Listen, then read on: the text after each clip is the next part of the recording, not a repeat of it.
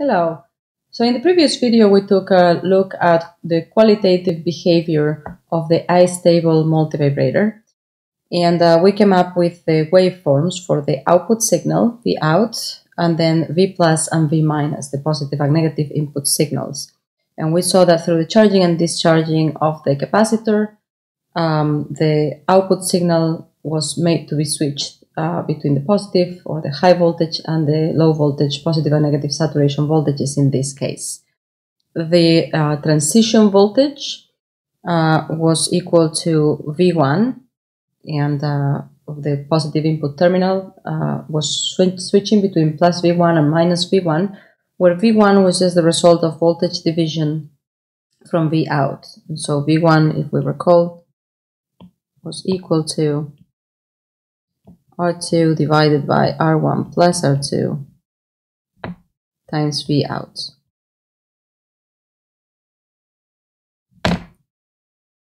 Uh, now we're interested in calculating what is the period of oscillation for our output signal.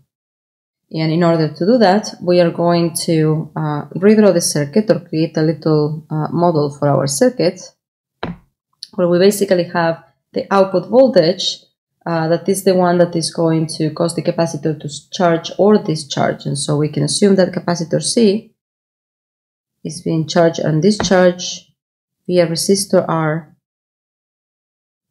through uh, the output voltage, which we're going to represent as a uh, voltage source.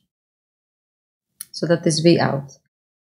And uh, initially V out is going to be sitting at the saturation voltage as we said. So I'm going to perhaps just say V out equals V sat. This is the voltage across the capacitor. And we're only going to calculate how long it takes for the capacitor to charge from uh, minus V1, that point over there, to plus V1. And that's going to give us uh, half of the period of the signal and then multiplying that times 2 will give us the full period. We're going to assume uh, symmetrical charging and discharging periods for the capacitor. So let's assume that the capacitor is initially charged to negative V1. So we're starting, this is our point uh, T0, this is our point T1. So capacitor starts with an initial value of uh, negative V1 over there. Perhaps I'll draw it in a different color.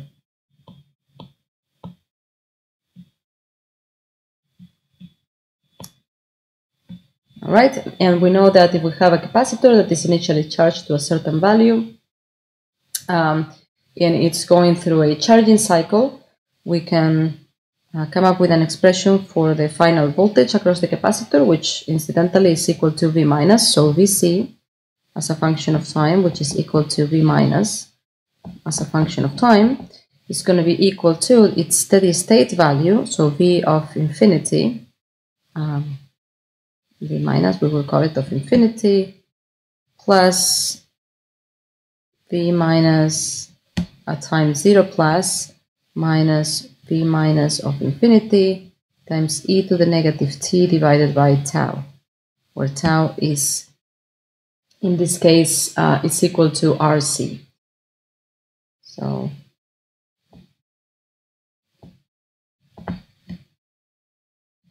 is the time constant of the circuit. In this case, just simply an RC circuit, so R times C.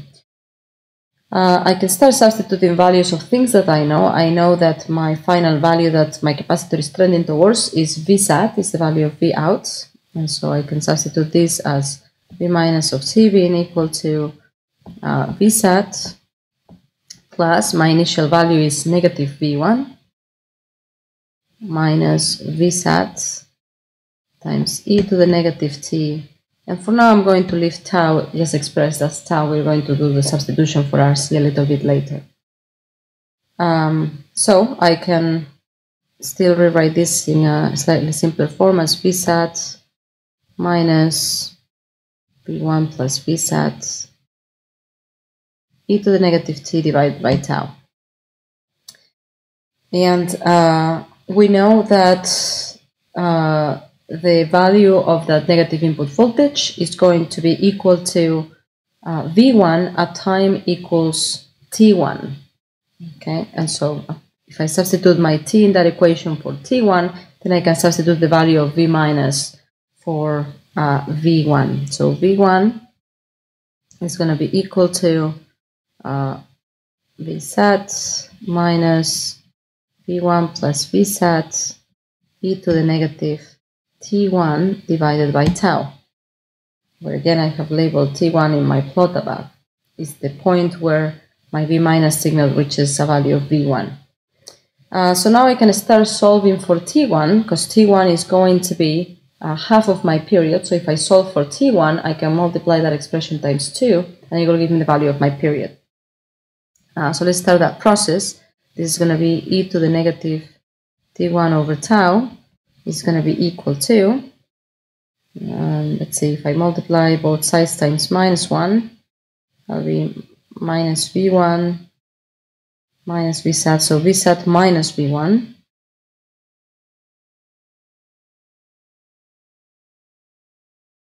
divided by vsat plus v1.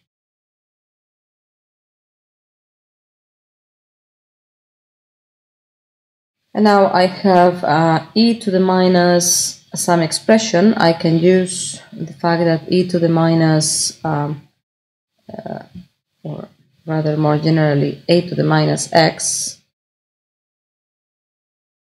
So a to the minus x is equal to 1 divided by a to the x. So based on that, I can say uh, this expression, vsat minus v1 divided by vsat plus v1, is equal to 1 divided by e to the t1 over tau, and therefore e to the t1 over tau is equal to the inverse of this expression, or vsat plus v1 divided by vsat minus v1. And now I'm ready to solve for t1 over tau by taking natural log on, on both sides of the equation. That will be natural log of Vsat minus V1 divided by, or excuse me, plus V1 divided by saturation voltage Vsat minus V1. And finally, my T1 will be equal to tau times the natural log of that expression, and my period T is going to be equal to 2 times T1, which is going to be 2 times tau times the natural log of vsat plus v1 divided by vsat minus v1. But now notice that uh, v1 we just said is equal to R2 divided by R1 plus R2 times the saturation voltage vsat, uh, since that's the value of V out at this point. So I can rewrite my period as 2 times tau times the natural log of vsat plus r2 divided by r1 plus r2 times vsat all that divided by vsat minus r2 divided by r1 plus r2 times vsat and if I factor out uh, my VSATs, I will end up with uh, t period t being equals to 2 times tau times the natural log of um, r1 plus r2 plus r2, so r1 plus 2r2 divided by r1 minus r2, or plus r2 minus r2, so divided by r1, or what's equivalent 2 times tau times the natural log of 1 plus 2 r2 over r1 uh, where tau is equal to r times c. So I could write this as 2rc times the natural log of 1 plus 2r2 divided by r1. And so we could select appropriate values of resistors and capacitor in order to come up with uh, the right the right period, which also implies the right frequency for our output signal. Now, I do want to mention uh, a few design considerations for the circuit. And the first one is going to be that uh, typical values that are chosen for these resistors is that R2 is equal to uh, 0.86 R1 and the reason why that is chosen that way is so that in that particular case notice that uh, my period is simply equal to 2 times tau or 2 times RC and so it simplifies our selection of values process uh, also notice that the voltage across my capacitor is going to be switching between negative V1 and positive V1. And so it's going to go from a negative voltage to a positive voltage. Uh, and so we need to make sure that, um, that we are choosing for our capacitor a capacitor that is not polarized. So C must be non-polarized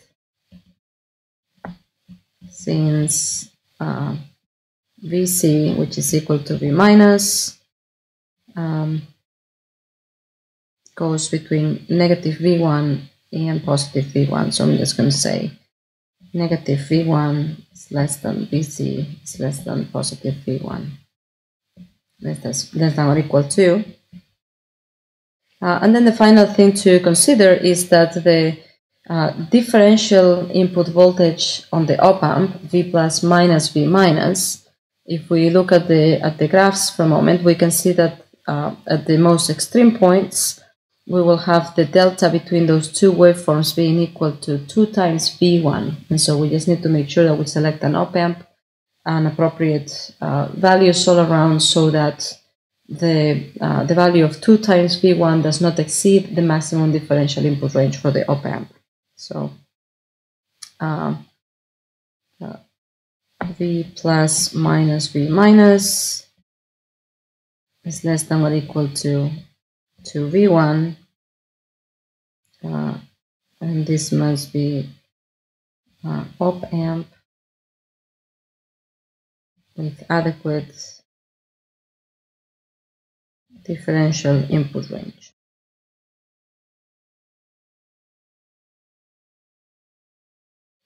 And that's it. That's how we will go about designing a, uh, an astable multivibrator to have a, to generate a square wave signal with a particular frequency or period. Thank you.